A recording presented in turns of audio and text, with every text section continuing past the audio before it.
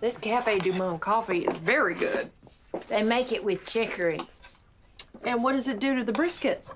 Oh, I have no idea. Then why did you send George all the way to New Orleans? Well, they don't sell this around here. Hmm. Here we go. 15 years and 14 hours later. Best brisket in Texas.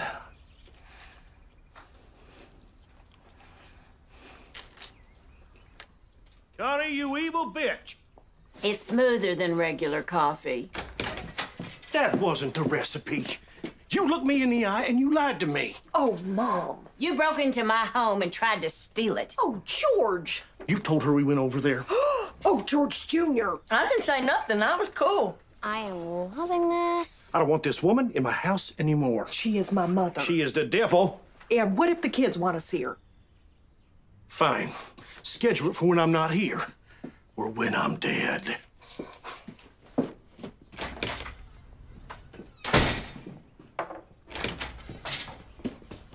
And quit drinking my coffee.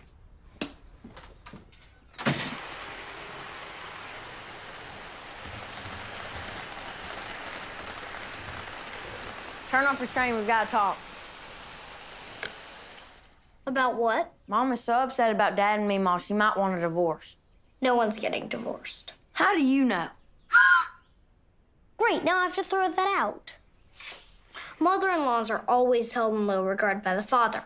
It rarely leads to a breakup of the family. He's right. Fred and Wilma are still happily married.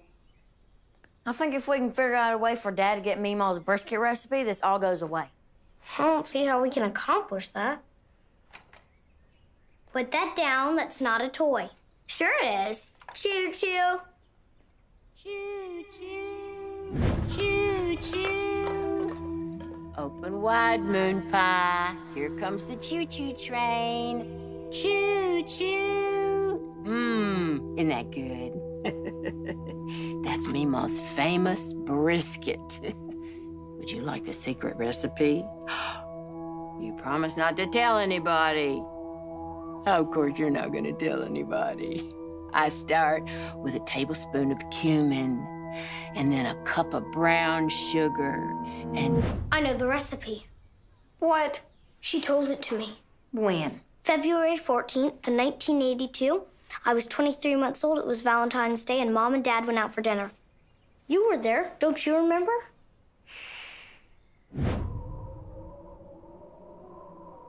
I got nothing. You can really remember when you were that little? Uh huh. You were there too. You were still struggling with potty training. I don't think so.